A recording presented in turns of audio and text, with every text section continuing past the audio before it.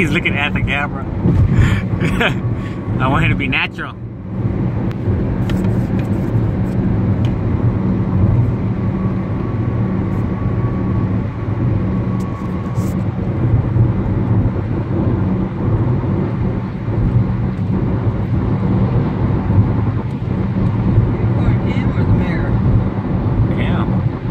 in the mirror.